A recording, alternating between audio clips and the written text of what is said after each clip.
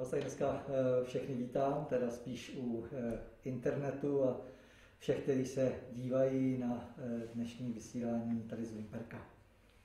Přeju vám krásné nedělní ráno a opět zdravím ty, které sem pravidelně chodí do Vimperka do sboru a každýho z vás, který jste na přijímači. Můžeme se krátce sklonit k modlitbě a pak můžeme začít. Pane Bože Všemohoucí, tak eh, vyvyšil tvé svaté jméno. Pane, děkuji ti za to, že ty se k nám skláníš, pane, že ty jsi milovaný Bůh a že ty nám tu lásku dáváš. Bože, prosím tě i to, aby tak eh, i dnes jsme zacítili tvůj boží dotek, aby tak ty se nás dotýkal, aby ty si nás proměňoval, aby si změnil naše životy, pane. O to tě prosíme, pane. A zdáváme ti díku a díky a čest a slávu. Amen.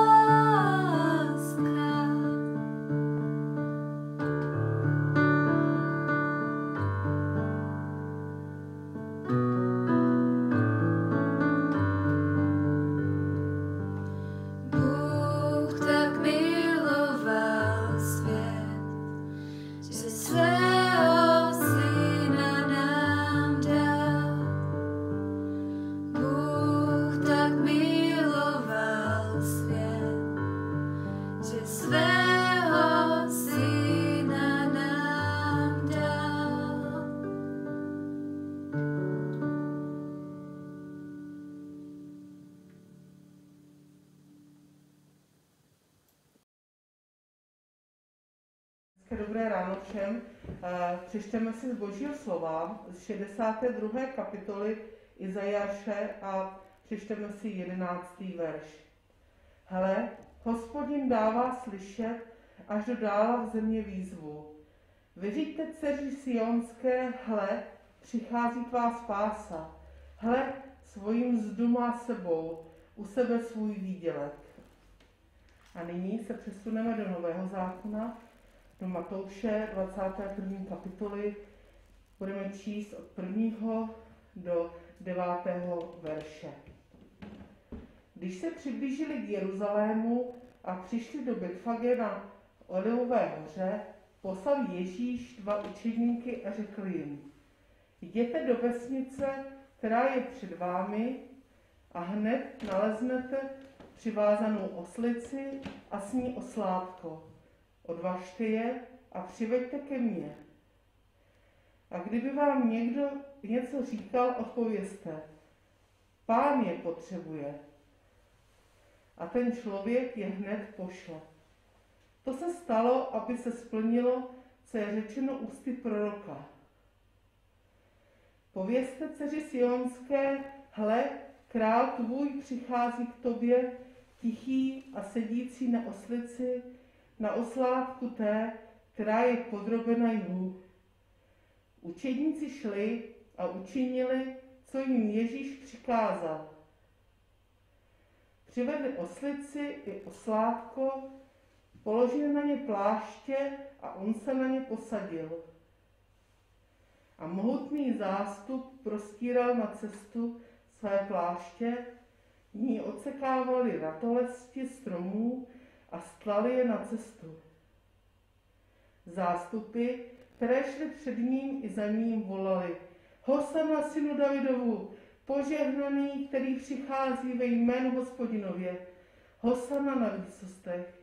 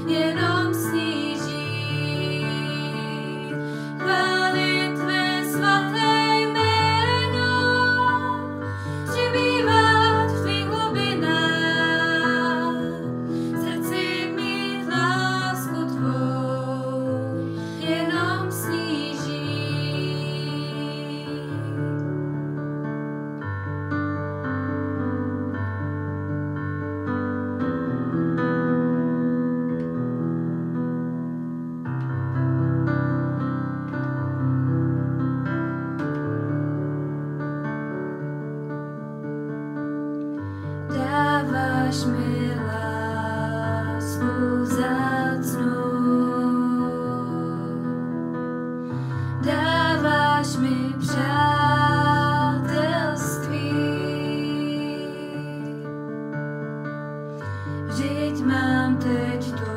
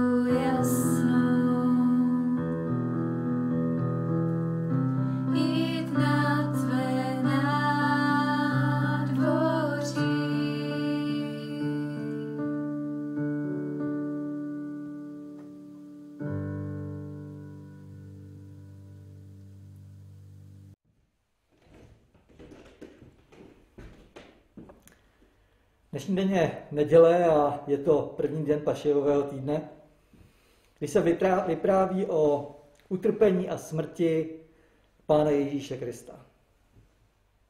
Židé tento den obvykle oddělovali beránka, který byl bez vady a kterého měli zabít a jeho krví označit dveře nebo pro někoho futra, pro někoho obložky svého domu,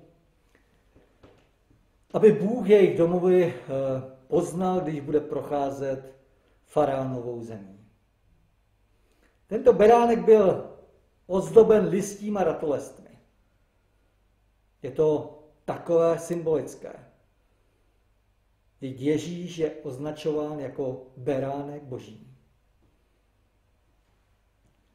I pro mě je toto období Velikonoc takové slavnostní, něčím nové. Vzpomínám si, jako když jsem byl malý, tak eh, eh, si vždycky vzpomínám, jak byla krásná, jasná obloha, vždycky, i když to samozřejmě vždycky asi nebylo. Ale mám zafixováno krásné počasí bez mráčku. Bez mráčku, protože jsem tehdy vždy své hříchy odhodil. Vrátíme se k příběhu, který jsme mohli číst z Matoušova evangelia. Ježíš se přiblížuje Betfage na Olivové hoře a posílá dva učedníky do protější vesnice, aby přivedli uvázanou oslici a oslátku. Říká, najdete ji hned. Odvažte ji Odvažte je a přivejte je ke mně. A kdyby se někdo ptal, proč, jenom v klidu odpověste, pán je potřebuje. A tak se to vše stalo. Naplnila se proroctví z Izajáše i Zachariáše, kdy Zachariáš říká, řekněte dcery Sionské, hle, tvůj král k tobě přichází, tichý a sedící na oslici a na oslátku, synu té podhem. A učeníci tak udělali, přivedli oslátko i oslici. Položili na něj pláště a Ježíš si na něj sedl. Dokážu si představit, a zkuste si to představit se mnou, jaká tam musela být atmosféra. Jak slavnostní to muselo být. Lidé provolávají sláva Ježíši, když výjíždí do Jeruzaléma. Učedníci jdou vedle něj a celý zástup před ním i za ním provolává Hosana. Hosana, přichází král Davidův, mocný král, který nás ochrání a zachrání. Úsměvy lidí na tvářích a ta radost je doslova cítit ve vzduchu na každém kroku. Lidé radosti pokřikují, poskakují, odsekávají ratolesti, větvičky a házejí je na cestu, kudy Ježíš projíždí. Na jeho počest. Vypadá to jako slavnostní koberec, co vytvořili. Oslavují jej. Jak symbolické. Znovu. Ratolesti, květiny, tam, kudy zachránce projíždí na místo obětování.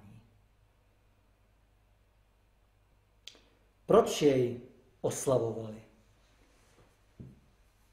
Lidé již totiž slyšeli o tom, jaké zázraky Ježíš učinil, jak skřísil Lazara z mrtvých a vidí i to naplňování slov dávných proroků. Byla to atmosféra, žilo to.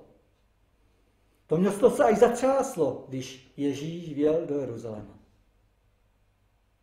Někteří v Ježíši viděli skutečného zachránce, jiní se ptali, kdo to je, odkud je, co je to za člověka.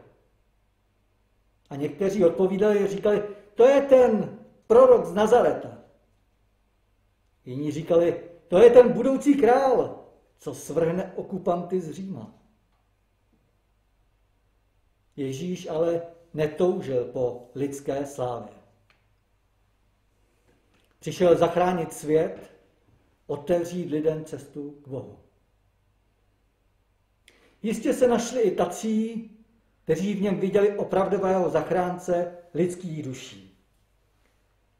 Možná někteří z těch, co mu provolávali slávu, byli strženi davem. Možná byli strženi davem, ale provolávali mu slávu. Všichni v jednotě k němu volali z nadějí záchrany. Lidstvo bylo mnohokrát v těžkých situacích, kdy lidé volali k Bohu, k někomu, kdo je vytrhne z jejich bolesti nebo soužení.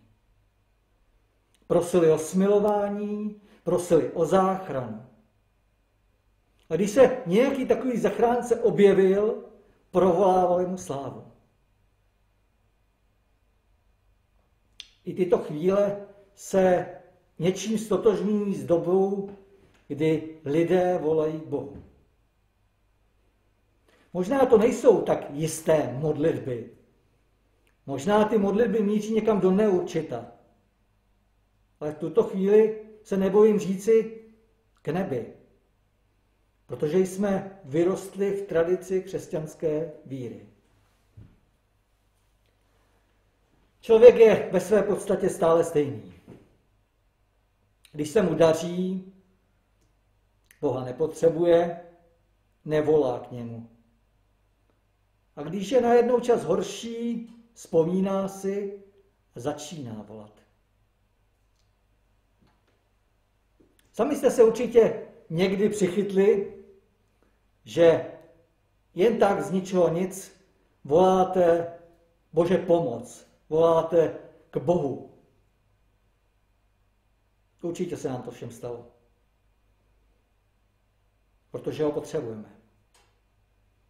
Máme v něm nějakou naději a nějaký zastání. My nejsme dokonalí a děláme chyby. A za ty chyby si neseme určité následky, které nás provází někdy delší a někdy kratší čas. A Bůh to má všechno v lajně seřazený a všechno naše počínání vidí. Člověk má možnost si vybrat ze dvou cest. Je to na člověku, který si vybírá, co bude dělat. Buď řekne ano, anebo ne. Je prostě svobodný v tom, co dělá a je svobodný ve výběru toho, co bude dělat. I v tomto období Velikonoc v tom příběhu vidíme, jak se lidé rozhodovali. V jednu chvíli se rozhodovali nebo rozhodli oslavovat Ježíše a volat k němu, provolávat mu slávu, modlit se k němu. To bylo na počátku té cesty, při vjezdu do Jeruzaléma.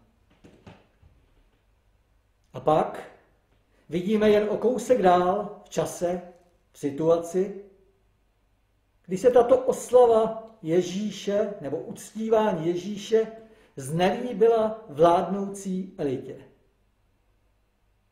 A ta původní radost, to původní nadšení jakoby zmizelo. Ona skutečnost radosti a naděje zmizela. Možná, že se člověk začal bát.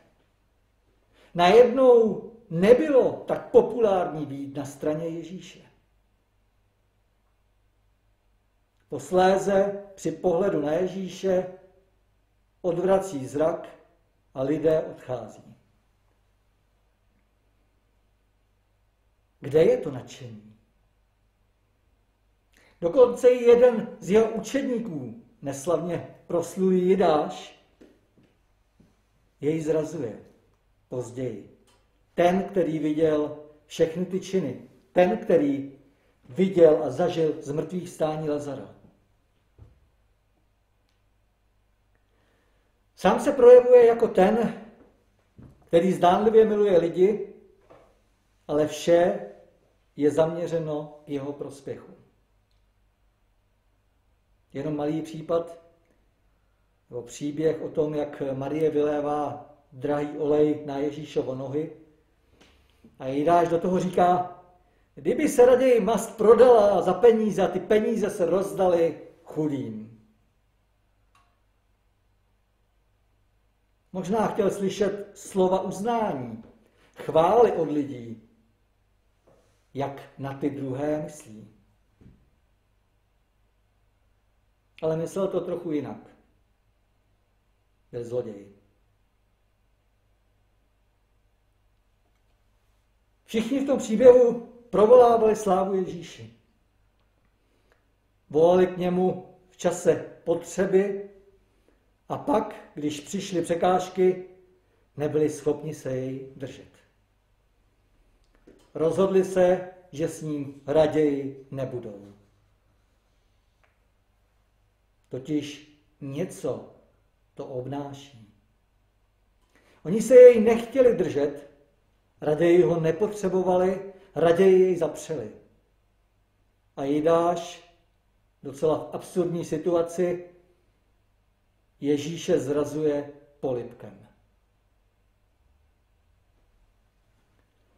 Všimli jste si někdy, že jste s přítelem a pak k němu přijde někdo, kdo vás eh, nemusí, nebo kdo vás nemá rád, a je to přítel z nějaké vyšší vrstvy, nebo jeho nadřízený, společensky významnější, jak se ten přítel mnohdy změní.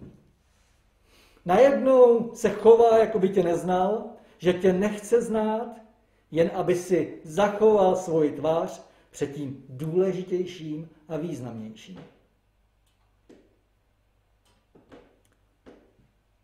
Dokud o něco jde a nemáme překážky, jdeme třeba s davem a můžeme to oslavovat všechno. Jakmile přijdou překážky, když se musím zapřít, ukázat charakter, uhýbáme, vzdáváme to a podléháme. A v našich ústech se objevují slova neznám tě. A je to opět naše rozhodnutí. Zvolili jsme si jednu z cest. Vy, my, jako lidé, jako náš národ se vykazuje jako ten, který nevěří. Jsou mezi námi ti, co nevěří, ale volají k Bohu. Ať již přestane ta nemoc, to či ono. Voláme, prosíme, všichni společně děláme všechno, co je jen možné. Každý nějakým způsobem, každý nějakou činností. To, co je před námi, nebo už to je v tom průběhu, nacházíme se možná na úpatí veliké hory. Může to být nazváno jako hora. Ale tato momentální situace pomine. Teď voláme, teď jsme spolu, teď prosíme Boha o pomoc. A otázka zní, budeme volat k hospodinu i poté, co hora zmizí? Až se situace uklidní? Nebo padneme pod tlakem okolí a zapomeneme, kam jsme volali? Odvrátíme se? Bude zas dělat člověk to své a o pomoc nezažádá? Minule jsem říkal, že lidé pod tlakem se semknou. Ale až se čas rozvolní, jak to bude? Bůh dává do srdce volání po něm. Dává volání po uzdravení a záchraně. Žije z nadějí, že se člověk rozhodne správně a nebude jako mořská vlna, která sebou zmítá sem a tam. Chci být a zažívat nebo prožívat ten okamžik, kdy provolávám slávu Ježíši, kdy k němu volám s pokorou a láskou. Kdy k němu volám, protože v něj věřím. Chci být v okamžiku, kdy k němu volám, nejen když mám těžké situace, ale v každé situaci. Já osobně Boha potřebuji. Spoléhám na něj a miluji jej. On dříve totiž miloval mne, tebe. Sestoupil na zem, aby zachránil hříšníky. Prosím za mě i za vás, abyste se dobře rozhodovali. A teď možná trochu úsměvně vyjdi pravou nohou. Amen.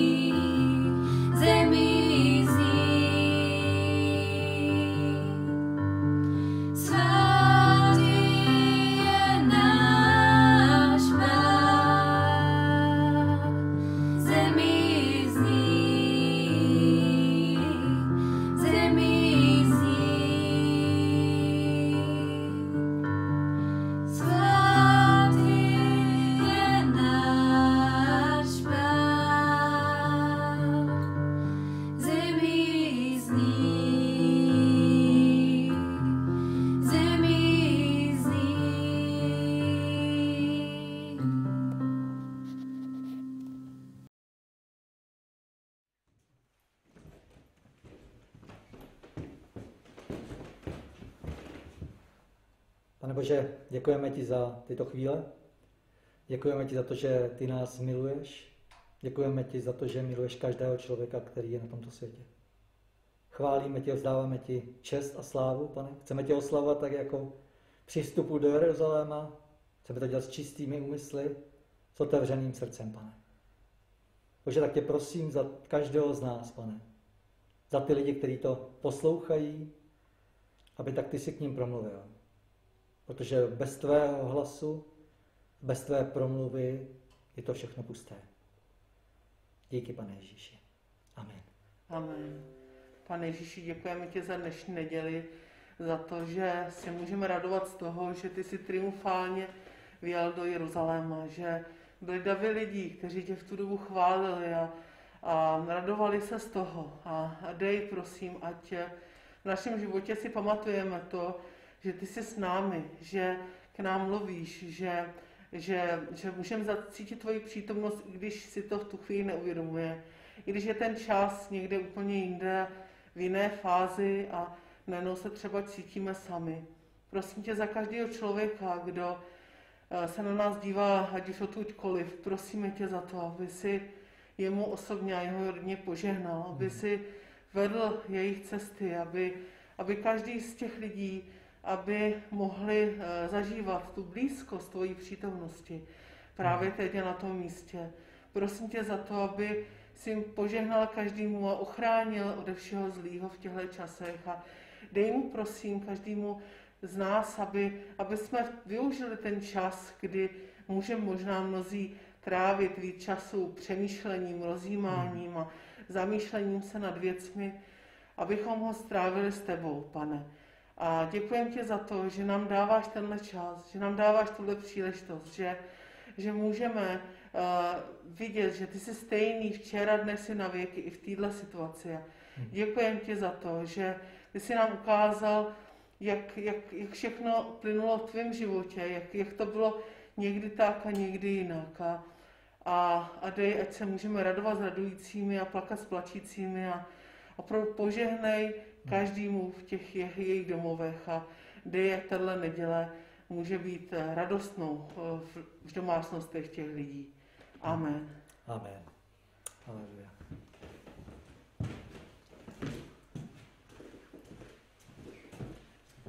Vyprosíme si eh, navzájem požehnání.